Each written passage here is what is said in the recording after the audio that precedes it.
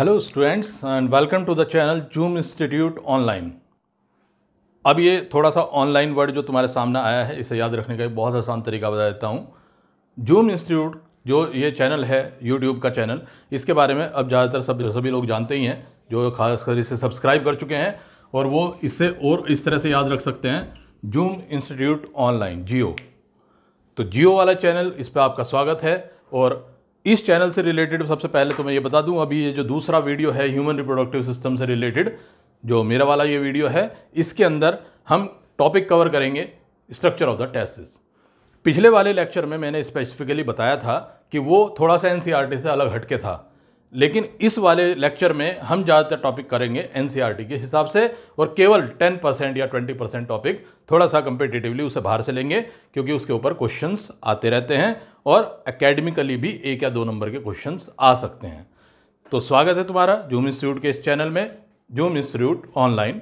तो हम अपना अगला लेक्चर शुरू करते हैं यहाँ पे स्ट्रक्चर ऑफ द टेस्टिस हमने जो टॉपिक किया था उसमें ये था कि प्राइमरी सेक्स ऑर्गन ये हमने पढ़े थे कि मेल और फीमेल में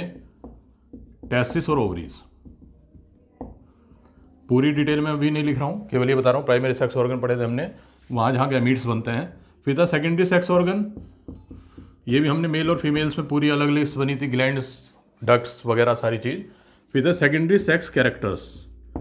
जो हमने इस डिफ्रेंशिएट करते मेल और फीमेल में जैसे सेक्सुअल डाइमोफिज्म क्रिएट करने वाले क्वेश्चन ये आता है कि मेमोरी ग्लैंड जो होती हैं वो किस में ली जाएंगी सिंपल क्वेश्चन है यानी तीन ऑप्शन है हमारे पास primary sex organ secondary sex organ या सेकेंडरी सेक्स कैरेक्टर क्वेश्चन ये है कि मेमोरी ग्लैंड्स को हम किस में इंक्लूड करेंगे प्राइमरी सेक्स ऑर्गन में तो करेंगे नहीं ये तो ऑप्शन छोड़ ही दो अब दो ऑप्शन बचते हैं तुम्हारे पास सेकेंडरी सेक्स ऑर्गन या सेकेंडरी सेक्स कैरेक्टर्स तुम्हारे पास टाइम है वही चालीस से पचास सेकेंड का टाइम है वीडियो को पॉज करके सोचना शुरू करो फिर उसे पेपर पे लिख लो कुछ स्टूडेंट ने इसका आंसर ये लिखा होगा कुछ ने ये लिखा होगा लिख लिया जरूर होना चाहिए ये बात ध्यान रखना क्योंकि इससे अगर तुम ऐसा नहीं करोगे तो ये नहीं है कि तुम सोचो कि टीचर को क्या पता वो तो वीडियो पे लेक्चर दे रहा है उसे तो कोई मतलब नहीं है अपने आप को बेवकूफ़ बनाने की कोई ज़रूरत नहीं है पहले तुम्हें ये सोचना है कि इसका आंसर क्या होना चाहिए वो इसलिए क्योंकि मेमोरी ग्लैंड्स क्या करती हैं memory gland sexual dimorphism create करती हैं ये memory gland sexual dimorphism create करती हैं तो मेरे हिसाब से यह है कि इसे यहाँ प्रिफर करना चाहिए लेकिन ये मैं इसलिए क्वेश्चन पूछ रहा था क्योंकि कई बुक्स में ये सेकेंडरी सेक्स ऑर्गन्स में दिए हुए हैं ये मेंशन कर रखा है कि सेकेंडरी सेक्स ऑर्गन्स में आते हैं ये ग्लैंड्स मेमोरी ग्लैंड्स दो तरीके से सोचते हैं हमें कि इसका आंसर ये क्यों होना चाहिए पहली बात तो इनका रोल मेमोरी ग्लैंड्स का रोल चाइल्ड फीडिंग में है मिल्क फीडिंग में है यानी कि इनका रोल किसी भी तरह से गैमीट्स के ट्रांसपोर्टेशन में नॉरिशमेंट में या फर्टिलाइजेशन में नहीं है तो जब इनका रोल किसी भी तरह से सेकेंडरी सेक्स ऑर्गन के फंक्शन से मैच करता ही नहीं है तो हम इसे इसे यहाँ क्यों लेंगे दूसरी चीज़ सेकेंडरी सेक्स कैरेक्टर्स की अगर हम बात करें तो मेमरी ग्लैंड्स दोनों में होती हैं वेस्टिजियल ली जाती है मेल्स में फीमेल्स में फंक्शन ली जाती हैं तो उस पॉइंट ऑफ व्यू से हम ये कह सकते हैं सेक्सुअल डाइमोर्फिज्म तो ये क्रिएट करती हैं क्योंकि प्यूबर्टी के समय पे इस्ट्रोजन की वजह से मेमरी ग्लैंड की ग्रोथ जो होती है फीमेल में बढ़नी शुरू हो जाती है जिसकी वजह से हम कह सकते हैं ये सेक्सुअल डाइमॉर्फिज्म क्रिएट करती है तो ये ध्यान रखना है क्वेश्चन पूछने की वजह यह है क्योंकि कई बुक्स में इसका आंसर या ये कह दें कि उसके मेंशन जो किया हुआ है थ्योरी में वो यहाँ किया हुआ है जबकि सही आंसर होना चाहिए सेकेंडरी सेक्स कैरेक्टर हम जो पढ़ाई का तरीका बनाएंगे उसमें एक बात ध्यान रखना एक डायग्राम एक हज़ार शब्दों के बराबर होता है एक कहावत है और यहाँ हम प्रूव करके दिखाएंगे उसे एक ही डायग्राम से कम से कम कम से कम 20-25 क्वेश्चंस हो सकते हैं कि ह्यूमन बीइंग में टेस्टिस जो होते हैं वो एक्स्ट्रा एबडोमिनल होते हैं यानी उनकी पोजीशन तो जो एक्स्ट्रा एबडोमिनल होते हैं वो क्यों होते हैं एक्स्ट्रा एबडोमिनल और एक्स्ट्रा ओबडोमिनल का मतलब क्या होता है जैसे इसे इस तरह से समझते हैं ह्यूमन बींग में बर्थ से पहले बर्थ से पहले यानी एक तरीके से ये कह सकते हैं up to seventh month of the intrauterine life जो टेस्टिस होते हैं उनकी पोजीशन इंट्रा एब्डोमिनल होती है इंट्रा एब्डोमिनल जो टेस्टिस की पोजीशन होती है उसके बाद वो स्क्रोटल सेक में आ जाते हैं स्क्रोटल सेक या स्क्रोटम इसमें आ जाते हैं दोनों टेस्टिस जो होते हैं वो हो जाते हैं फिर एक्स्ट्रा एब्डोमिनल एक्स्ट्रा एब्डोमिनल यानी एब्डोमिन से बाहर इस वर्ड पे ध्यान देना क्योंकि ये बहुत कॉमन क्वेश्चन आते हैं कि एक्स्ट्रा एबनॉमिनल क्यों होते हैं सबसे ज़्यादा कॉमन क्वेश्चन आता है ये उससे पहले ये समझना है कि एक्स्ट्रा एबडोमिनल होते हैं एक्स्ट्रा एबडोमिनल का मतलब ये है एबडोमेन यानी कि एक तरीके से जैसे हम कहते हैं हेड थोरेक्स एबडोमेन तो एबडोमेन से बाहर ये स्क्रोटल सेक में होते हैं तो स्क्रोटल सेक में ये होते क्यों हैं अगर हम ये वाला क्वेश्चन करें तो सबसे पहले इसकी पोजिशन से रिलेटेड आ जाता है टेस्टिस होते हैं एक्स्ट्रा एबडोमिनल कॉज कारण क्या है इसके ऊपर सबसे ज़्यादा क्वेश्चन बनते हैं तो इसलिए सबसे इंपॉर्टेंट है ये पता होना चाहिए कि वो एक्स्ट्रा एबडोमिनल क्यों है इसका सिंपल सा आंसर आता है स्प्रमेटोजिनेसिस प्रॉपर होने के लिए हमारे बॉडी का जो टेम्परेचर है 37 डिग्री सेंटीग्रेड वो ज़्यादा है सही ढंग से स्पर्मेटोजिनेसिस होने के लिए 37 डिग्री सेंटीग्रेड का जो टेम्परेचर है वो सुटेबल नहीं है कम से कम दो या तीन डिग्री सेंटीग्रेड टेम्परेचर कम होना चाहिए जो स्पर्मेटोजिनेसिस के लिए प्रॉपर है ऑप्टिमम है यानी हम ये कह सकते हैं हमारे एब्डोमेन का जो टेम्परेचर है वो है 37 डिग्री सेंटीग्रेड एक्स्ट्रा एब्डोमिनल का मतलब होता है स्क्रोटम का टेम्परेचर वो होता है nearly two two five degree centigrade lesser than abdominal temperature देखो इस बात का समझने का ये तरीका होता है for proper spermatogenesis for proper spermatogenesis for proper spermatogenesis. Temperature nearly 2 degrees centigrade lesser than abdominal temperature is optimum. Exactly exactly, spermatogenesis सही ढंग से होने के लिए स्पर्मेटोजेनेसिस का मतलब होता है formation of sperm formation of sperms और फॉर्मेशन ऑफ स्पर्म्स कहाँ होता है टेस्टिस में स्पर्मेटोजेनेसिस प्रॉपर हो इसके लिए टेम्परेचर बॉडी टेम्परेचर जो है वो दो डिग्री सेंटीग्रेड या उससे कम होना चाहिए एब्डोमिनल टेम्परेचर से यानी कि 37 से कम होना चाहिए हमारे एब्डोमिन का टेम्परेचर होम्योस्थेसिस की वजह से 37 डिग्री सेंटीग्रेड कॉन्स्टेंट होता है स्क्रॉटम में वो टेम्परेचर दो डिग्री से या तीन डिग्री के आसपास कम होता है इसके लिए स्पेसिफिक मसल्स होती हैं डार्टोस मसल्स कहते हैं क्रिमिस्ट्रफेशिया कहते हैं वो हमारा टॉपिक अभी यहाँ नहीं है ये मैं इसलिए बता रहा हूँ क्योंकि स्क्रॉटम की जो मसल्स होती हैं वो कॉन्ट्रेक्शन रिलैक्सेशन करके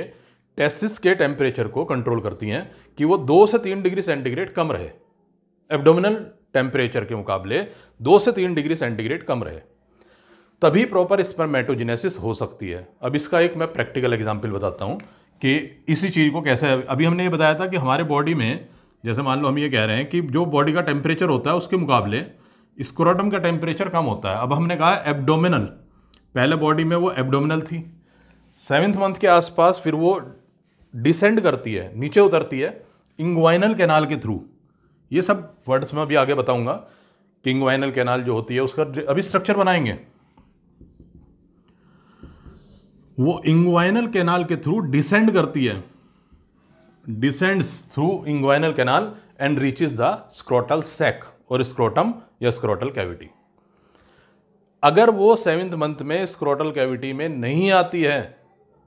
तो सर्जिकली उसे स्क्रोटल कैविटी में डिसेंड कराया जाता है आफ्टर बर्थ यानी बर्थ के बाद में सर्जिकली उसे डिसेंड कराना जरूरी है नहीं तो इनफर्टिलिटी हो जाएगी यानी स्पर्मेटोजेनेसिस नहीं होगी इनफर्टिलिटी हो जाएगी तो इसी वजह से उसे सर्जिकली कराना ज़रूरी होता है चाइल्ड बर्थ पे जो पीडियट्रिशियन को बुलाया जाता है वो उसकी सबसे बड़ी वजह क्या होती है वो कुछ स्पेसिफिक साइंस हैं सिम्टम्स हैं जो टेस्ट होते हैं वो देखते हैं कि बच्चे की ग्रोथ सही है या नहीं है वो ये भी देखते हैं अगर वो स्क्रोटम में नहीं है तो उसके बारे में अलर्ट किया जाता है उसके बारे में इन्फॉर्म किया जाता है पेरेंट्स को कि भाई इस तरह से क्या करना है भविष्य में क्या उसके लिए ट्रीटमेंट लेना है तो ये सारी चीज़ें कराई जाती हैं जैसे कि एनीमिया होने के चांस रहते हैं जॉन्डिस के चांस रहते हैं न्यूनेटल जॉन्डिस जो होते हैं तो वो उसे पहचानने की कोशिश करते हैं डॉक्टर्स जो होते हैं उसके बारे में बताते हैं कि कैसे थेरेपी देनी चाहिए लाइट थेरेपी वगैरह वो चीज़ बताई जाती है तो ऐसे ही ये भी होता है तो ये एक बहुत इंपॉर्टेंट एस्पेक्ट है कि पता होना चाहिए कि वो अगर एबडोमिनल कैविटी में प्रेजेंट हैं यानी कि स्क्रोटल सेगमेंट में नहीं है तो ये फ्यूचर में इनफर्टिलिटी का सबसे बड़ा कारण बन सकता है फिर मेन पॉइंट पर आते हैं जैसे हमने कहा अगर वो स्क्रोटल सैक में नहीं है एबडोमिन में है तो इसके लिए एक अलग से भी वर्ड यूज़ होता है क्रिप्टोरकाइडिज्म अब ये वाला वर्ड समझने के लिए मैं पहले एक सीरीज़ बनाता हूँ एक सीरीज़ ये होती है कि जैसे एक वर्ड अगर तुम याद कर लो तो उससे करीब दस या पंद्रह वर्ड्स बन सकते हैं जिनका मतलब निकालना बहुत आसान हो जाता है हमें यह पता होना चाहिए इंग्लिश लैंग्वेज जो होती है वो ग्रीक या लेटिन लैंग्वेज से बनी है इसके जितने भी वर्ड हैं ज़्यादातर जो साइंटिफिक वर्ड हैं वो ज़्यादातर ग्रीक या लेटिन से लिए गए हैं अगर हमें रूट वर्ड याद है तो हम उससे बहुत सारे दूसरे वर्ड बना सकते हैं जैसा भी कल बात हो रही थी मैंने एक बताया था सेल्पिंग्स फेलोपिन ट्यूब के लिए वर्ड यूज़ करा था सेल्पिंग्स एक स्टूडेंट ने फिर क्वेश्चन करा कि कहने लगे फिर तो इसके वास डिफरेंस के लिए क्या होना चाहिए लेटिन वर्ड तो ये वासा वर्ड खुद लेटिन वर्ड है वासा डिफरेंशिया ये खुद में लेटिन वर्ड है ये तो कल वाला टॉपिक हो गया उसका आंसर ले रहे हैं हम कि वासा डिफरेंशिया जो कहा गया है वो किस लिए कहा गया है वैसे तो हिंदी इंग्लिश में जो वर्ड होता है वो होता है डक्ट यहाँ पे हम जो वासा वर्ड लेते हैं वो वैसिल्स के लिए डक्ट के लिए लेटिन वर्ड है यहाँ पे आते हैं फिर टेस्टिस के लिए जो वर्ड है लेटिन वर्ड वो है ऑर्काई ये याद रखना क्योंकि कम से कम इससे छः सात अलग अलग वर्ड्स बनेंगे जो हम यूज़ करेंगे यहाँ पे और अगर हम एम की बात करें तो वहाँ पे तो और दस वर्ड आ जाएंगे इससे अलावा तो यहाँ पे जो और वर्ड्स आते हैं जो इसके लिए यूज़ करे जाते हैं और ऑर्गाई से रिलेटेड जैसे सबसे पहले जैसे हमने वर्ड यूज़ करा था यहाँ पे कि अगर टेस्टिस एब्डोमेन में नहीं है एब्डोमेन में है स्क्रोटल सेग में नहीं है तो उसके लिए वर्ड यूज़ करेंगे क्रिप्टोरकाइडिज्म क्रिप्टो वर्ड फेमिलियर हो याद रख सकते हो और भी जगह काम आएगा cryptogam phanerogam crypto का मतलब इनविजिबल हिडन फैन रो का मतलब विजिबल जो दिखता है फैन रो जो नहीं दिखता हिडन है वो क्रिप्टो क्रिप्टो का मतलब हिडन हिडन का मतलब है लेकिन छुपे हुए हैं इसलिए इसे कहते हैं क्रिप्टॉरकाइडिज्म यानी इसका मतलब है टेस्टिस हैं लेकिन विजिबल नहीं है विजिबल का मतलब स्क्रोटल सैक में विजिबल नहीं है इसके लिए अलग से वर्ड यूज़ कर लिया हमने क्रिप्टॉरकाइडिज्म अगर अगर टेस्टिस बने ही ना देखो एक बहुत सिंपल सा कैलकुलेशन है वाई स्पर्म होना चाहिए वाई के ऊपर टी डी एफ जीन होनी चाहिए तब टेस्टिस बनेंगे अगर ऐसा नहीं है तो ऐसा भी होता है कि एक्स वाई कंपोजिशन है लेकिन टेस्टिस नहीं है क्योंकि उसके ऊपर टी जीन जो है वो नहीं है देखो टी जीन के बारे में जेनेटिक्स में हम डिटेल में पढ़ेंगे यहाँ मैं एक ब्रीफ में बता देता हूँ एक बात जो याद रखनी है हमारे बॉडी की ह्यूमन बींग की स्मॉलेस्ट जीन होती है T gene testis determining factor gene Y chromosome के ऊपर होती है सात बेस पेयर की जीन होती है सबसे छोटी जीन होती है जो सबसे बड़ी जीन होती है वो डिस्ट्रोफिन प्रोटीन बनाने वाली जीन होती है 2.4 मिलियन यानी 24 लाख बेस पेयर की जीन होती है वो तो यहाँ पे ध्यान रखना टी जीन में अगर बाई चांस म्यूटेशन हो जाए तो ये भी हो सकता है कि वाई क्रोमोजोम है लेकिन टेस्टिस नहीं है और भी वजह हो सकती हैं पहले हम उसी पॉइंट पाते हैं अगर टेस्टिस है ही नहीं तो हम कहेंगे एन ऑर्काइडिज्म जनरली ये वर्ड प्रिफर करा जाता है प्रिफिक्स के तौर पे लगाया जाता है अगर कोई चीज़ नहीं है जैसे एनीमिया ब्लड की कमी या ब्लड नहीं है तो एन ईमिया इस तरह से वर्ड लगाया जाता है एन ऑर्काइडिज्म लेकिन अगर सिंगल टेस्टिस है तो हम कहेंगे मोनोरकाइडिज्म देखो वर्ड और काई से कितने सारे बन रहे हैं इस पर ध्यान देना और काई क्रिप्ट ऑर्काइडिज्म एन ऑर्काइडिज्म मोन ऑर्काइडिज्म ऐसी ऑर्काइटिस ऑर्काइटिस का होता मतलब आइटिस वर्ड जिसके भी बाद में आ जाएगा ये सफिक्स जैसे हम करते हैं उपसर्ग और प्रत्यय तो ये प्रत्यय है सफिक्स है जिस शब्द के बाद में आइटिस आ जाएगा इसका मतलब इन्फ्लेमेशन आइटिस का मतलब होता है इन्फ्लेमेशन इन्फ्लेमेशन का मतलब सूजन वो एडिमा भी हो सकता है वो इन्फ्लेमेशन जैसे हम वर्ड यूज़ करते हैं असल में क्या होता है ये जो वर्ड है सूजन या शोथ ये हिंदी या उर्दू के जो वर्ड हैं इनके लिए इंग्लिश में दो वर्ड आते हैं इन्फ्लेमेशन या एडिमा अभी हम इस चीज़ को डिस्कस करेंगे जब हम हिस्टोलॉजी पढ़ते हैं क्योंकि टिश्यू में टिश्यू फ्लूड इकट्ठा होना उसे कहते हैं एडिमा यहाँ पे ध्यान रखना सूजन वर्ड हम बहुत कॉमनली यूज़ करते हैं लीवर में सूजन है दिमाग की झिल्ली में सूजन है ये इस तरह से वर्ड यूज़ करते हैं तो ऐसे ही इसमें होता है अगर टेस्टिस में सूजन है तो हम वर्ड यूज़ करते हैं ऑर्काइटिस हिपेटाइटिस सबसे ज़्यादा वर्ड जो यूज़ होता है कंजक्टिवाइटिस आँख आना वो बहुत यूज़ होता है आई वर्ड कम से कम कम से कम पचास जगह पे यूज़ होता है जूलॉजी में तो ये सोच के देखना ये सफिक्स कितना इंपॉर्टेंट है ऑर्गाई अगर अगर पता है और काई तो इसका मतलब टेस्टिस आइटिस का मतलब सूजन तो ऑर्काइटिस तो ये सबसे बढ़िया तरीका होता है जूलॉजी को पढ़ने का और जूलॉजी नहीं ये चीज़ एम में मेडिकल जब हम साइंस पढ़ते हैं तो उस समय बहुत काम आती है क्योंकि अगर ऐसा नहीं है तो एम नहीं करी जाएगी क्योंकि उसमें बहुत बड़ी इस तरह की बहुत सारी टर्मिनोलॉजी होती हैं अगर वो टर्म पता है तो बहुत आसानी से सब चीज़ याद हो जाएंगी नहीं पता है तो बड़ी दिक्कत आएगी तो जैसे हमने यहाँ बनाया क्रिप्टॉर्काइडिज्म एनऑर्काइडिज्म मोनोर्काइडिज्म ऑर्काइटिस और भी वर्ड बनते हैं इससे रिलेटेड एक एनिमल का नाम है ओपिस थोरचिस वो भी उसमें भी ये आता है फाइलम में पढ़ते हैं हम तो यहाँ पर और का ही वर्ड यूज़ होता है टेस्ट से रिलेटेड और उससे रिलेटेड ये कंडीशंस हैं जो हमने यहाँ पे करी है फिर उसी पॉइंट पर आते हैं जैसे ये वाला पॉइंट था एक्स्ट्रा एबडोमिनल हमने बताया था एक्स्ट्रा एबडोमिनल क्यों है एक क्वेश्चन ये भी आता है कई एनिमल्स ऐसे होते हैं जिसमें एक्स्ट्रा एबडोमिनल नहीं होते जैसे एलिफेंट वेल उनमें इंट्रा एबडोमिनल टेस्टिस होते हैं यानी कि अब अगर इस हिसाब से देखा जाए तो एक डिफरेंस आ गया इंट्रा एबडोमिनल टेस्टिस होते हैं उसके अंदर फॉर एग्जाम्पल एलिफेंट और व्हेल वेल यानी ब्लू ब्लू वेल ये क्वेश्चन कभी एकेडमिकली नहीं आया है ना ही कम्पिटेटिवली ज़्यादा पूछा गया है लेकिन एक बेसिक क्वेश्चन दिमाग में तो आता ही है बच्चों के दिमाग में आता है फिर इनमें क्या स्पर्मेटोजिनेसिस नहीं होती या अगर इनमें स्पर्मेटोजिनेसिस होती है तो फिर ये भी तो मैमल्स ही हैं देखो मैं मैमल्स की बात कर रहा हूँ अभी मैं और एनिमल्स की बात नहीं कर रहा हूँ क्योंकि और दूसरे एनिमल्स बहुत हैं इस तरह के ये तो मैं ह्यूमन बींग की स्पेसिफिकली और खासकर मैमल्स की बात कर रहा हूँ कि ऐसे मैमल्स भी हैं जिनके अंदर intra abdominal permanently intra abdominal testis होते हैं कुछ ऐसे भी होते हैं जिसमें टेम्प्रेरी इंट्रा एबडोमिनल या टेम्प्रेरी एक्स्ट्रा एबडोमिनल होते हैं यानी ब्रीडिंग सीजन में वो स्क्रोटल सैक में आ जाएंगे जब ब्रीडिंग सीजन खत्म हो जाएगा फिर दोबारा से एबडोमिनल कैविटी में असेंड कर जाएंगे मेन पॉइंट यहाँ पे यह आता है कि इनमें फिर कैसे स्पर्मेटोजेनेसिस होती है होती तो होगी ये तो कॉमन सेंस की बात है स्पर्मेटोजेनेसिस तो होती होगी क्योंकि इनफर्टिलिटी तो होती नहीं है तो यानी स्पर्मेटोजेनेसिस होती है तो फिर इनमें कैसे होती है तो एक बहुत सिंपल सा बहुत सिंपल कारण है बहुत सिंपल सा तरीका है समझने का these are one of the largest animal largest animal on earth largest terrestrial animal और एक चीज़ पढ़ते हैं मेटाबॉलिज्म जब पढ़ते हैं कि जितना लार्ज साइज होगा एनिमल का उतना ही उसका बीएमआर कम होगा बेसल मेटाबॉलिक रेट हो सकता है ये पॉइंट अभी कुछ लोगों को समझ में ना आए एक बहुत सिंपल सा क्वेश्चन बताता हूँ जो बहुत बार आ चुका है कंपटीशन में चार एनिमल्स के नाम दिए जाते हैं और ये पूछते हैं इसमें से किसका बी सबसे ज़्यादा है या इसे डिक्रीजिंग या एक्सेंडिंग ऑर्डर में लगाओ सिंपल सा तरीका होता है जितना बड़ा मैमल उतना ही उसका बी कम होगा और जितना छोटा मैमल उसका तो उतना ही बी ज़्यादा होगा बेसल मेटाबॉलिक रेट अगर ये चीज़ अभी भी समझ में नहीं आ रही है तो ये ध्यान रखना ये हम जब डाइजेस्टिव सिस्टम पढ़ते हैं एंडोक्राइन सिस्टम पढ़ते हैं तीन चार अलग अलग सिस्टम में हम ये समझेंगे यहाँ पे बस हमें इतना समझना है कि इन एनिमल का बीएमआर कम होता है और इनका बॉडी टेम्परेचर ही कम होता है इनका बॉडी टेम्परेचर ही 35 से कम है जैसे 30 डिग्री है मान लो हम ये कहते हैं एलिफेंट का बॉडी टेम्परेचर अगर है ही 30 और स्पर्मेटोजेनेसिस के लिए कितना चाहिए 35 तो इसका तो 30 है ही तो इसमें तो हो ही जाएगी स्पर्मेटोजेनेसिस फिर तो कोई दिक्कत ही नहीं है यानी कि ये प्रॉब्लम जो होती है ह्यूमन बींग के साथ इसलिए हुई है क्योंकि ह्यूमन बींग का बी बढ़ गया है मेटाबॉलिक रेट बढ़ गया है जिसकी वजह से बॉडी टेम्परेचर जो कॉन्स्टेंट बॉडी टेम्परेचर है वो एक एवरेज लेवल 37 डिग्री सेंटीग्रेड का जो है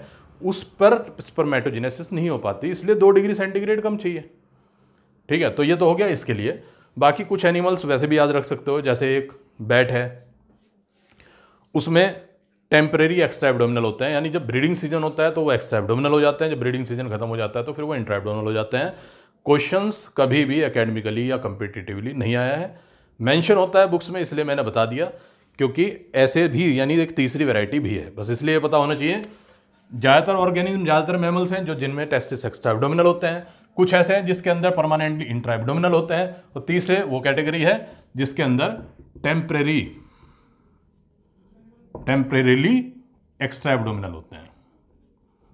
तो एक तरीके से ये तीन कैटेगरी हैं मैमल्स की according to the position of testis कि बॉडी के अंदर या बॉडी के बाहर या टेम्परेरी बॉडी के बाहर अगला टॉपिक जो ले रहे हैं हम वो है स्ट्रक्चर ऑफ टेस्टिस स्ट्रक्चर का मतलब इंटरनल स्ट्रक्चर जैसे हम एक्सटर्नल स्ट्रक्चर कहें तो ओवल स्ट्रक्चर होता है दो टेस्टिस होते हैं ये हम ऑलरेडी पहले भी बता चुके हैं पिछले लेक्चर में बताया था कि जो टेस्टिस होते हैं वो हेट्रोक्राइन ग्लैंड या मिक्स ग्लैंड होती हैं एक्जोक्राइन भी हैं एंडोक्राइन भी हैं एक्जोक्राइन फंक्शन होता है सिक्रीशन ऑफ द स्पर्म या release of the sperm endocrine function होता है सिक्रीशन ऑफ एंड्रोजन्स और टेस्टोस्टेरोन क्योंकि एक डायग्राम एक हज़ार वर्ड्स के बराबर होता है ये डायग्राम मैं पहले भी बना के रख सकता था यहाँ पे पाँच या छः मिनट की बचत हो जाती लेकिन मैंने एक चीज़ बताई थी जब तक अपने हाथों से नहीं लिखोगे या अपने हाथों से डायग्राम नहीं बनाओगे वो डायग्राम नहीं याद हो पाएगा और अगर याद हो गया तो रिटेंशन करना उसकी एग्ज़ामिनेशन तक और एग्ज़ामिनेशन हॉल में रिकॉल करना ये बहुत मुश्किल हो जाता है अगर हाथों से खुद बनाओगे तो वो ज़्यादा लंबे समय तक याद रहेगा तो इसलिए पहले तो ये ध्यान रखना है कि वो डायग्राम अपने हाथों से बनाना है तो इसमें डायग्राम में सबसे पहले जैसे मान लो मैं बनाता हूँ ये एक टेस्टिस की लोब है अगर हम ये कहें एन e के अंदर ये लिखा हुआ है टेस्टिस के बाहर लेयर्स होती हैं लेकिन उन्होंने ये नहीं लिखा कितनी लेयर्स होती हैं लेयर्स के नाम क्या क्या होते हैं तो इसे मैं थोड़ा सा केवल इसलिए बना देता हूँ क्योंकि ये हिस्ट्रोलॉजी में भी इसके ऊपर क्वेश्चन आता है इसके अलावा कंपटीशन में इसके ऊपर क्वेश्चन आते हैं वहाँ पे वर्ड आता है ट्यूनिका एल्बुजीनिया ये एन e में भी वर्ड दे रखा है तो ट्यूनिका एल्बुजीनिया जो होती है वो क्या होती है तो मैं थोड़ा सा बता देता हूँ पाँच मिनट का टॉपिक है पाँच मिनट में ये समझ में आ जाएगा हाँ इसकी लेयर्स कौन कौन सी होती है जैसे इसके ऊपर सबसे पहले सबसे बाहर वाली जो लेयर होगी वो होगी ट्यूनिका वेजेनेलिस ये जो रेड कलर की बनाई है हमने लेयर ये है ट्यूनिका वेजेनेलिस देखो इसके ऊपर जो क्वेश्चन आएंगे वो भी मैं यही लिख दूंगा कि इसके ऊपर क्या क्या क्वेश्चन आ चुके हैं या क्या बनते हैं क्या आ सकते हैं वो भी हम यहीं पे लिख देंगे पहले मैं एक बार लेयर्स बना देता हूँ तो सबसे बाहर वाली लेयर ये जो डबल लेयर है और केवल आगे की तरफ है पीछे नहीं है डायग्राम से ध्यान देना क्योंकि डायग्राम से ये क्वेश्चन तुम आराम से कर सकते हो कि ट्यूनिका वेजेनलिस कहाँ प्रेजेंट होती है अगर मैं इसे लिखवाऊंगा that is present anterior side यानी ये पोसियर साइड में या वेंट्रल साइड पर नहीं है इससे बढ़िया ये डायग्राम है डायग्राम से पता चल जाएगा कि ये कहाँ पे है इसके बाद एक दूसरी लेयर आती है जिसे ट्रू कवरिंग कहते हैं क्योंकि वो पूरी तरह से कवर करके रखती है वो पूरी तरह से कवर करेगी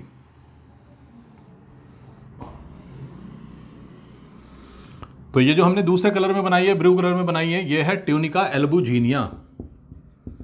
ट्यूनिका एल्बुजीनिया और ये जो वर्ड है ना एल्बिनिज्म जैसे हम पढ़ते हैं ना एल्बिनो ये लेटिन वर्ड है इसका मतलब होता है वाइट एल्बिनिज्म पढ़ा होगा कि जनरली जो श्वेत कुष्ठ कहते हैं सूर्यमुखी कहते हैं जेनेटिक्स में हम पढ़ते हैं कि जो बिल्कुल वाइट कलर के होते हैं जिसके अंदर मिलेनिन नहीं बनता तो उसे एल्बिनिज्म कहते हैं तो ऐसी वर्ड ध्यान रखना एल्बिनो एल्बुजीनिया ये वाइट फाइबरस कनेक्टिव टिश्यू की लेयर होती है वाइट फाइबरस कनेक्टिव टिश्यू सी मैं शॉर्ट में लिख रहा हूँ कनेक्टिव टिश्यू वरना पेज ज्यादा जगह ज़्यादा भर जाएगी यहाँ पर और दूसरा पॉइंट जो इसके बारे में सबसे ज़्यादा इंपॉर्टेंट है जिसकी वजह से अकेडमिकली क्वेश्चन आते हैं इसे ट्रू कवरिंग कहते हैं ट्रू कवरिंग क्योंकि इसी ने ही पूरा कवर कर रखा है बाकी जो दूसरी लेयर है वो उसने पूरा कवर नहीं करा हुआ है ट्यूनिक वेजेनलिस केवल आगे की तरफ है पीछे या नीचे नहीं है तीसरी लेयर इसी ट्यूनिका एल्बुजीनिया का एक्सटेंशन होती है जो अंदर की तरफ जाके पार्टीशन बनाती है तो इसलिए मैं उसे ब्लू कलर से ही बना रहा हूँ क्योंकि वो ट्यूनिका एल्बुजीनिया का ही एक्सटेंशन है जो अंदर की तरफ है और इसका नाम है ट्यूनिका वस्कुलोसा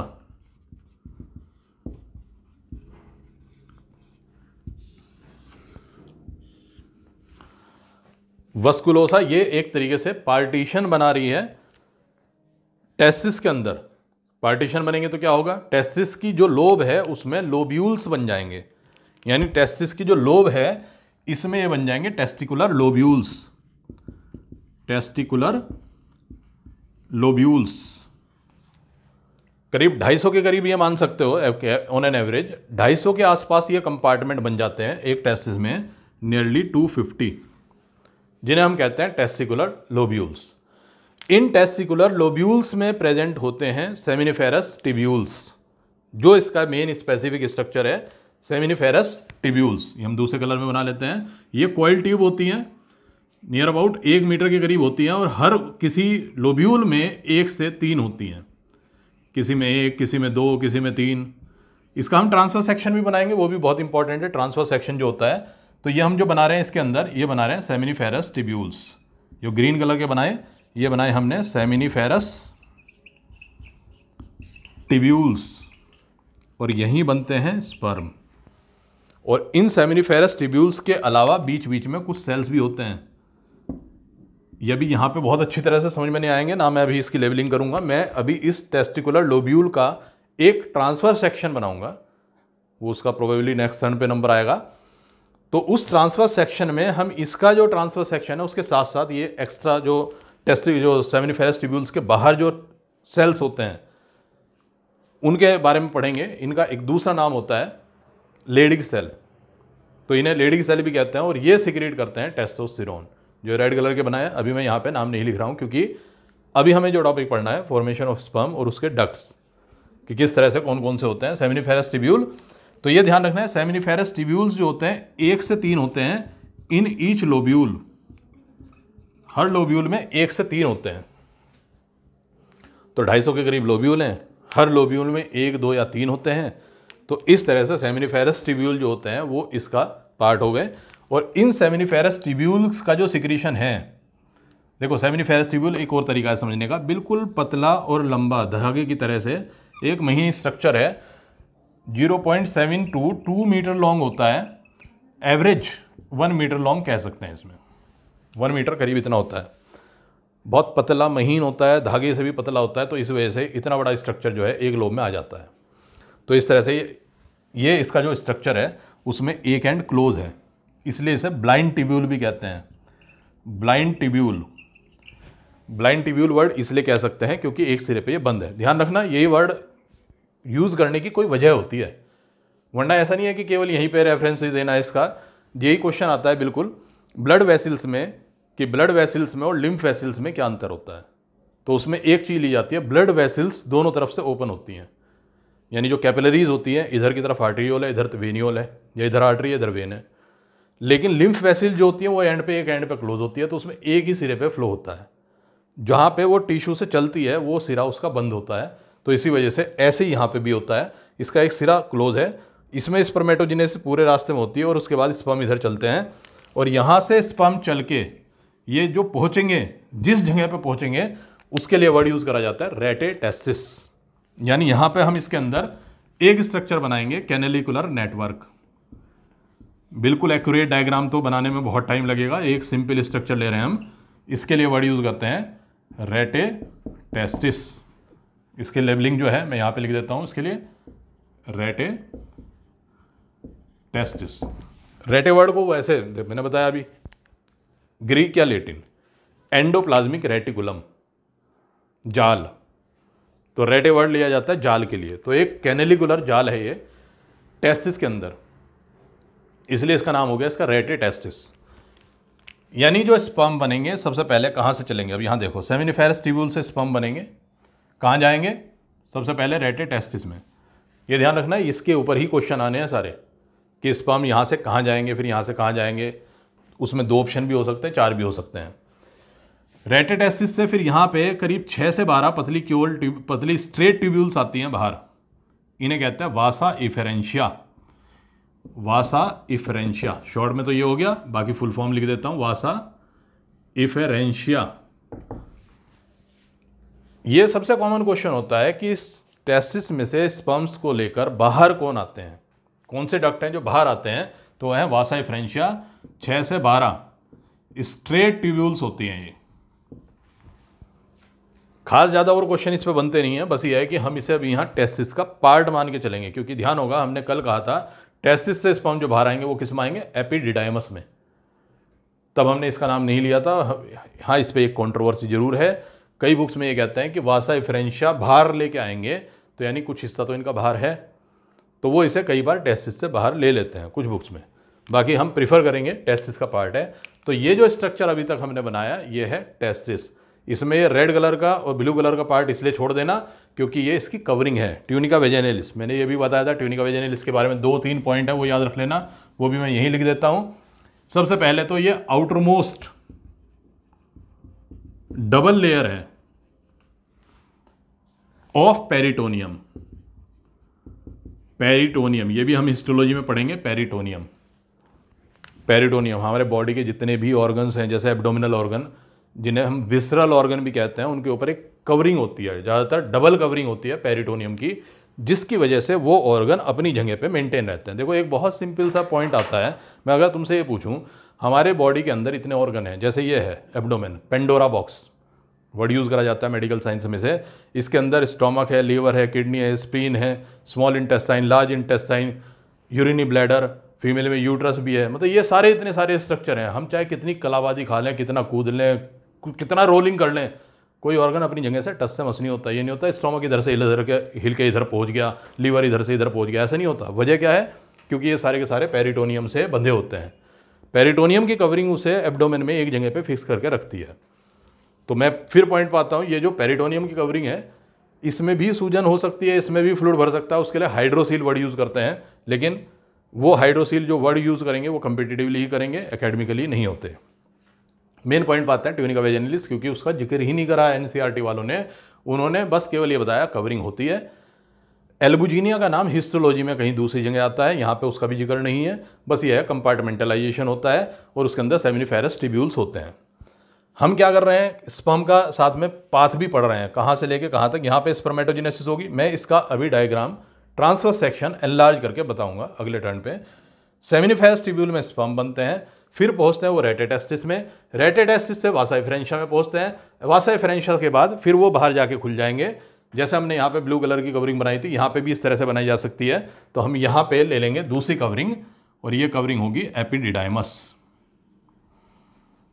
ये है एपिडिडाइमस ये nearly six metre long highly coiled tubule होती है इसके लिए वर्ड यूज़ करते हैं epididymis nearly six metre long coiled tubule काफ़ी इंपॉर्टेंट रोल है इसका स्पम का यहाँ पे स्टोरेज भी होता है नॉरिशमेंट भी होता है मैचुरेशन भी होता है काफ़ी इंपॉर्टेंट है वो फंक्शन अभी हम पढ़ेंगे पहले मैं अभी स्ट्रक्चर बता देता हूँ केवल क्योंकि इसके फंक्शन से रिलेटेड क्वेश्चन अभी और लेंगे लेकिन बात ध्यान रखना क्योंकि हमारा टॉपिक चल रहा था स्ट्रक्चर ऑफ टेस्टिस अब हम टेस्टिस से बाहर आ चुके हैं यहाँ पे एपिडिडाइमस के बारे में बात कर रहे हैं और यहाँ पे एक स्पेसिफिकल क्वेश्चन बनता है कि टेस्टिस प्लस एपिडिडामस इन दोनों को मिला के एक वर्ड यूज करते हैं टेस्टिकल तो टेस्टिस और टेस्टिकल में जो अंतर होता है वो ये होता है कि टेस्टिस प्लस एपिडिडामस इन दोनों को मिला के वर्ड यूज करते हैं टेस्टिकल तो पहले तो ये है ये सारा का सारा जो स्ट्रक्चर है ये जो ब्लू कलर की रेंज थी इसके अंदर जो हमने बनाया था ग्रीन ब्लैक कलर से तो ये तो था structure of testis internal structure of testis अब ये स्ट्रक्चर जो आया ये आया एपिडाइडामस और ये बाहर है और फाइनली यहां से निकलती है फिर वास डिफरेंस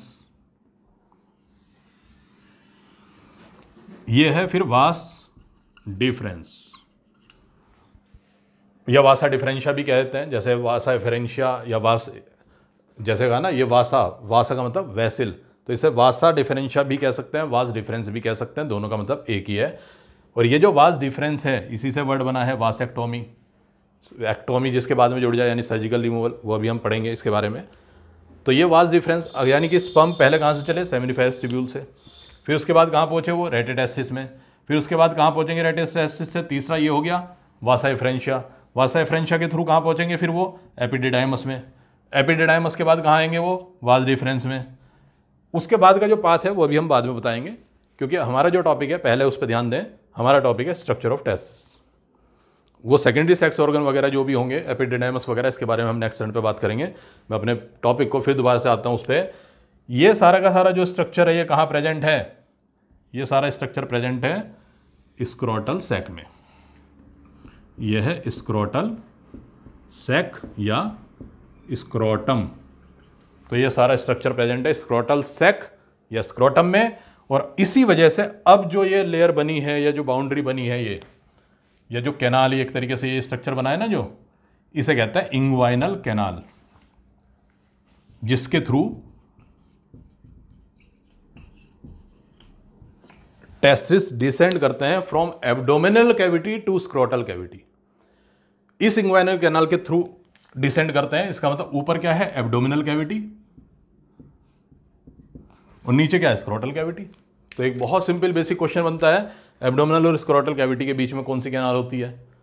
या कौन सी कैनाल है जिसके थ्रू टेस्टिस डिसेंड करते हैं टेस्टिस स्क्रोटल सेग में तो इस तरह से ये इंग्वाइनल कैनाल इसके भी और बारे में भी हम पढ़ेंगे इंग्वाइनल हर्निया वर्ड यूज़ करते हैं बड़ा इंटरेस्टिंग टॉपिक हो जाते हैं ये हर्निया वर्ड बहुत कॉमन वर्ड होता है अगर तुमने कभी ना सुना हो तो अपने पेरेंट्स से पूछ के देखना उनसे पूछना जो बहुत कॉमन डिसऑर्डर्स जो सुने होते हैं लोगों ने जैसे अपेंडिक्स का दर्द है अपेंडिक्स का ऑपरेशन हुआ अपेंडिसाइटिस ये बहुत कॉमन ऑपरेशन है बहुत कॉमन सर्जरीज हैं जो ज़्यादातर ऑपरेट की जाती हैं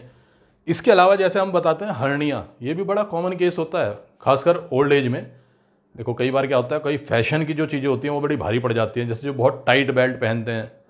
टाइट जीन्स पहनते हैं उसके ऊपर बेल्ट भी टाइट कर ली तो उसकी वजह से कई बार ये हर्निया हो जाता है हर्निया के बारे में भी मैं थोड़ा अगले टर्न पे ज़्यादा डिस्कस करूँगा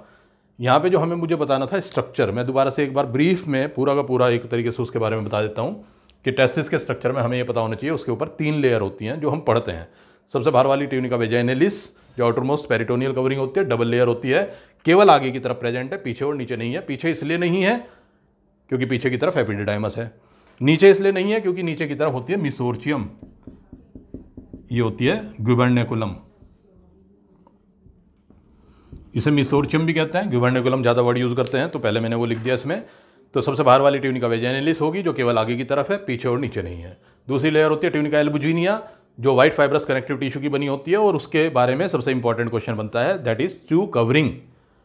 and it is made of the white fibrous connective tissue तीसरी लेयर ट्यूनिका वस्कुलेसा उस पर खास क्वेश्चन आते नहीं है क्योंकि ये केवल अंदर पार्टीशन बना रही है इन्वेजिनेशन करके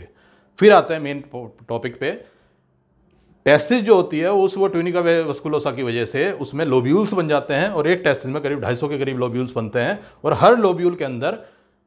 सेमिनिफेरस टिब्यूल्स होते हैं और इसके अलावा रेड कलर के इंटरस्टिशियल सेल या लेडी सेल होते हैं जो से सिक्रेट करेंगे जिसके बारे में हम अगले टर्न पे पढ़ेंगे ये सेमिनिफेरस टिब्यूल का स्ट्रक्चर प्लस इंटरस्टिशियल सेल ये सारी चीज़ हम दूसरे डायग्राम में लेंगे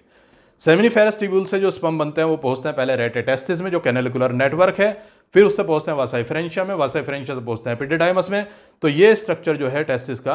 ये हमने कंप्लीट कर लिया है टाइम लिमिटेशन को ध्यान में रखते हुए अब मैं इसके बारे में ये बताऊंगा कि नेक्स्ट रन पे हम इसके बारे में और थोड़ा सा डिटेल पढ़ेंगे जैसे अभी मैंने सेमनी फेस्टिव्यूल का डायग्राम नहीं बनाया वो भी मैं बनाऊंगा अगले टर्न पे ये डायग्राम मैं पहले से ही बना के रख दूंगा जिससे कि थोड़ा सा तुम्हें ये रहे कि हाँ इससे अगला टॉपिक हम शुरू कर रहे हैं इससे आगे हमें इसके बारे में क्या क्या पढ़ना है वो चीज़ लेंगे